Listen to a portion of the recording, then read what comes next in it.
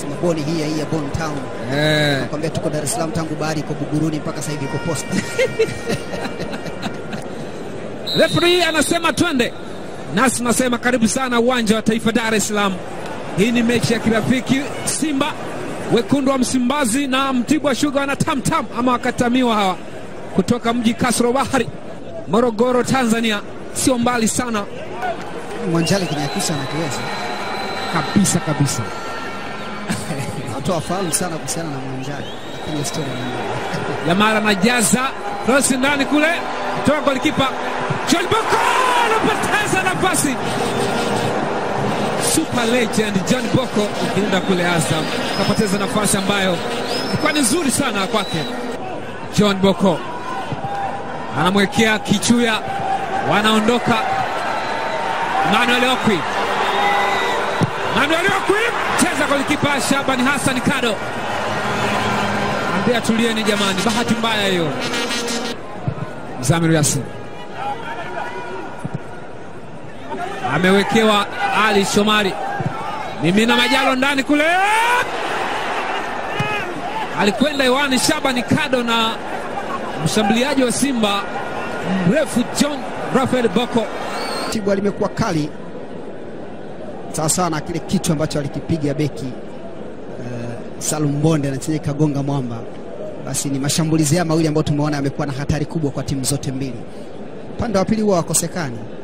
Fursa bado kwa Simba. kote Kichuya, John Boko, John Boko anaingia mwenye mimina ndani kule! Karibu Simba, Emmanuel Okwi kwa mara nyingine tena anapachika bao la kuongoza. Emmanuel Okwi ni mwekundu kwa mara nyingine, kwa mara ya tatu ndani ya uwanja wa Taifa, zikisalia dakika nne anafanya mambo yawe murwa yawe barabara, anapachika bao ambalo limetokana na kazi murwa sana ya super legend John Rafael Boko. Nascon ilikuwa maridadi sana, akaondoka na watu wawili. Ni namna ambavyo ameonekana kuonyesha ukomavu John Rafael Boko kwa namna alivyoingia na ule mpira, lakini namna alivyotoa ile pasi, golikipa hakuwa na namna ya kuifuata, maana ilikuwa kama anaitoa kwa nje hivi, na Okwi kwa nafasi kama ile kamalizia tu kaweka kambani.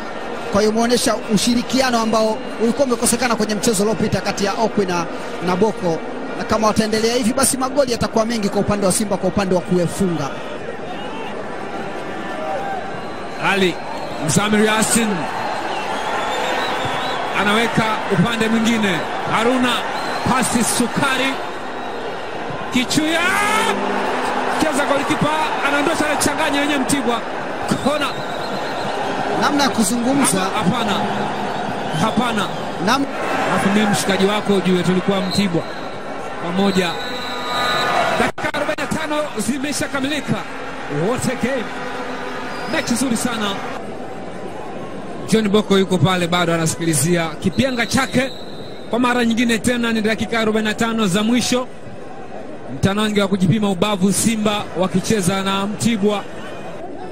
Mambo yanakaa sawasawa. Haruna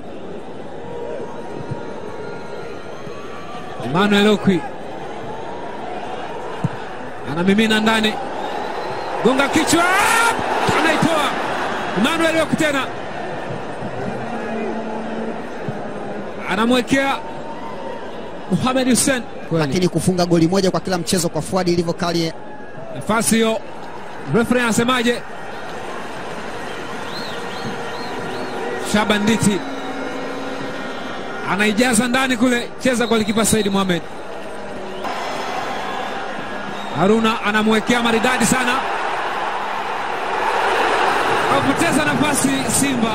Katika mazingira kama mchezo uliopita, yanatokea tena kwamba eneo la ulinzi la Simba liko sawa, eneo la katikati liko vizuri, wanatoa pasi nzuri katika eneo la kufunga. Nani atumbukize mpira kwenye nyavu? Hili ndio jambo ambalo bado Omoga anatakiwa aendelee ku, ku, ku, kuwasisitiza au kuwafundisha ama kuelekeza washambuliaji wake. Ilikuwa ni mpira tu, nasubiria mtu auguse. maridadi sana Isa ile amecheza. Isa Rashid Manjali, Saidi Ndemla anaweka pasi kisu. John Boko sasa, Boko! Saidi Ndemla